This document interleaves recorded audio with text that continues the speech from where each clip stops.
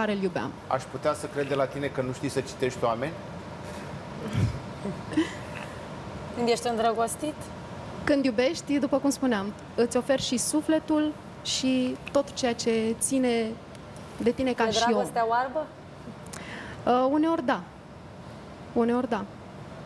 Spuneai că acum te-ai mai liniștit, dar și uh, în ultima vreme au apărut alte și alte povești despre o prietenă în casa căreia ai stat, uh, nu știu ce a dispărut de pe acolo. Putem să lămurim și povestea asta?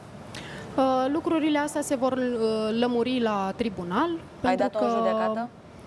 Nu vreau să dau detalii pentru că e vorba de un dosar, totuși uh, lucrurile astea, după cum spuneam, vor uh, judeca oameni competenți în domeniu și se vor rezolva.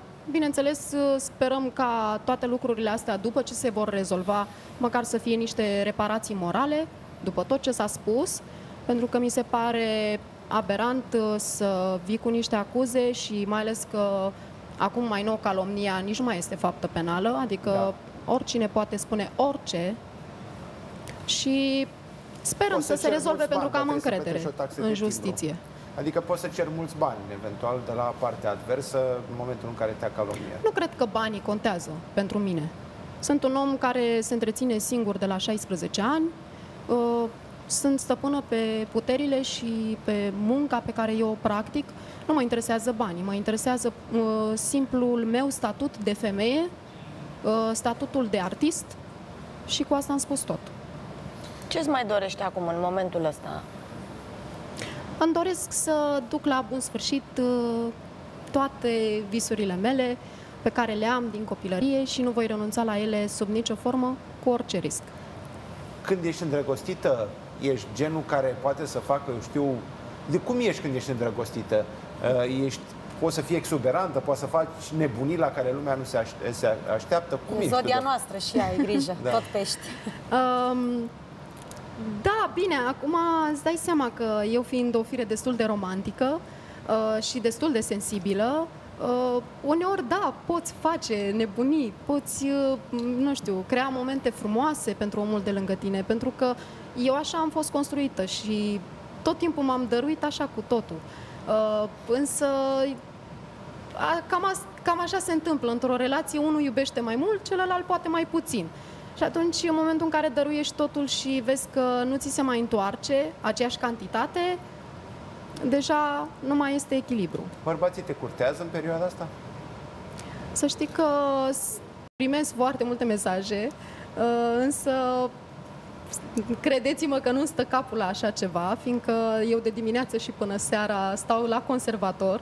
Uh, Foarte mulți prieteni mă și întreabă, dar tu nu mai răspunzi la telefonul ăla deloc? Zic, sunt în cursuri, sunt la cursuri, nu prea am cum să răspund, deci sunt mereu prinsă. De exemplu, aseară, la ora 2, am terminat tema de la teorie, ca astăzi să iau... diverse feluri de a reacționa. De exemplu, Andreea Marin se pare că nu lasă repede să se cicatrizeze o rană și apare altcineva.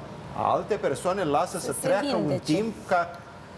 Tu cum ești? Eu cred că am nevoie de un timp, uh, un timp uh, eu cu mine, În funcție de cât de mare e rana. Că acum e rană, evident. să mai și lucrează la ea, adică, da. Zi. Da, eu E, am, de, e rană deschisă, nu? Da.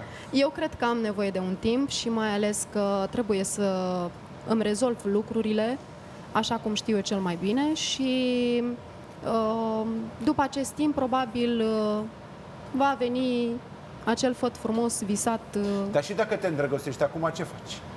Îl vezi pe unul și scade cu tronc. Tu crezi că după, nu știu, așa, dacă ai intra în pielea mea în momentul de față, crezi că ți-ar sta gândul la așa ceva? Nu știu, poate că... De ce nu? Nu știi cum, Cui pe cui cum să alege scoate, sufletul. Cum era? nu? Nu, nu mă gândesc la lucrurile astea. Deocamdată este mult prea devreme să vorbesc despre așa ceva. Mă gândesc la cariera mea, mă gândesc la copilul meu, la... pentru că asta îmi doresc o, să-i scriu lui Moș Crăciun așa o scrisoare, că am nevoie de mai mult timp, să stau cu prietenii, cu familia, să mă mai relaxez oarecum, pentru În că îmi relația- lipsește timpul. Uh, Și ne apropiem de final și pe fete le invit acum o ultimă întrebare. Uh, În relația cu copilul, ce ți reproșezi? În relația mea cu copilul, uh, tocmai asta e, uh, același motiv, timpul. Mi-ar plăcea să am mult mai mult timp, să putem Asta uh, vreau să spun. petrece mult mai mult timp împreună. Pe lângă conservator și așa, să știi că te va ajuta foarte mult. uh, Știi cum e când ești singură și copii, poate să spună și Adriana în moment, adică ei ne dau, deci poți să-ți iei și de acolo Băia, băiețelul bună meu zi și liderul oricum, tău. într-adevăr, uh, Adriana știe pentru că relația asta dintre um, băieți-mamă este una mai specială și tot timpul când mă întâlnesc cu fiul meu este așa, o încărcare emoțională și pozitivă, pentru că îmi dă putere să merg mai departe. Foarte bine. Păi, mulțumim Ce ne-ai foarte mult.